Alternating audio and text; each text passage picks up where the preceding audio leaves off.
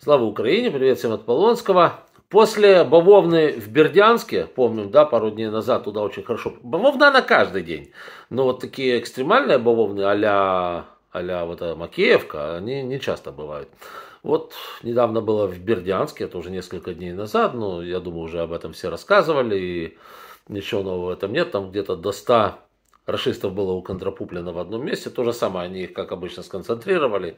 Туда только Хаймерсом шлепнуло или беспилотником, не знаю чем. Ну, короче говоря, бабах получился отменный, расисты у Контрапуплины. Да, так вот, вчера была Мелитопольская бавовна. Вот это была красота, просто причем, вы знаете, оно было сразу в нескольких моментах и под разными соусами.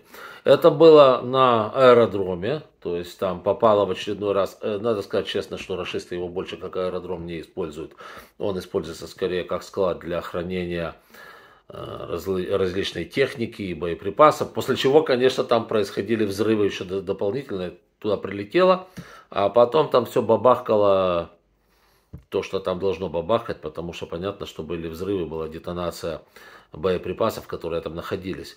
Это началось. Э, прилет был по району железнодорожной станции, опять-таки там расисты, личный состав у них там, опять-таки боекомплект, все как всегда, прилетело туда, то же самое бабахкало. И поселок Мирный, где опять был прилет, надо сказать, что прилеты там постоянно бывают, и расисты с маниакальным упорством завозят туда новый боекомплект, новый личный состав, и их там, как говорится, уже и контрапупят. И там же в Мирном говорят, что это еще не точно, но говорят, что был ликвидирован один из коллаборантов.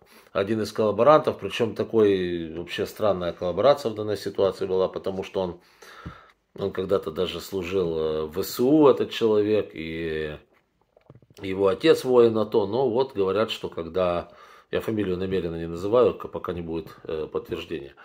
Говорят, что когда пришли русские, он вот счел, счел для себя возможным предать. И вот за что и поплатился.